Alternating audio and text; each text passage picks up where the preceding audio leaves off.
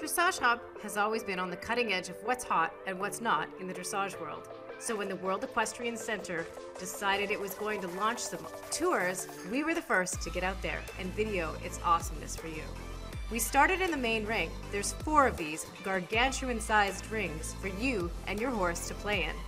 The VIP area overlooks each of these rings individually. Next stop, we headed to the stables, where this Disney World for horses spared no expense in making sure the creature comforts were a priority. As we entered the st stables, you can see that they're well ventilated, large stalls designed for your horse.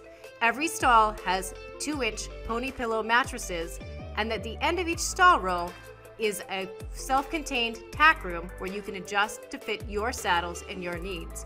Every aisle has a giant wash rack with hot and cold water. Now, my favorite is the green padding running up and down the barn aisles so your horse is never walking on concrete on its way to the arena. The Grand Tour would not be complete without a quick stop at the main centerpiece of the World Equestrian Center. Notable is the Warhorse tribute of Reckless, a warhorse that they did a beautiful tribute to. Then there's the giant jumbotrons and the hotel in the background, so you can literally watch the horse show from your hotel room. How sweet is that? The goal of this center area is to not only have a great place for equestrians, but a great place for the community to hang out. With retail spaces and seven on site restaurants, there is something for everyone at the World Equestrian Center. Bridle paths throughout the property allow you to get from one arena to another, and with a lot of property to cover, these bridle paths are going to come in handy.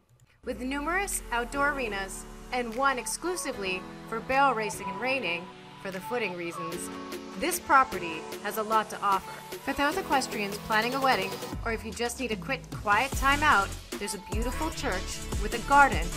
My personal favorite is the topiaries in the background of elephants, sure to scare any dressage horse. This part of the tour isn't complete yet, but in the background there, there will be a five-star event cross-country eventing court. On the way to the Derby ring, we also discovered there will be polo fields and an expo center that are almost complete. The Derby ring offers another giant outdoor ring where equestrians can come out to play. One of my other notable favorites is 130 outdoor paddocks for those of you with Dutch horses and chestnut mares that might need a little R&R or a little bit of time outside before you hit the show ring. We also came across super well ventilated farrier station. The World Equestrian Center didn't forget about the creature comforts for you. There is a giant campground with RV rentals as well as golf court rentals on site. In addition to that, there's on-site laundry and a general store for all of your Dressage Diva needs. The tour of the World Equestrian Center was absolutely mind-blowing, and I, for one, can't wait to go back. Make sure you click subscribe for us to bring you more.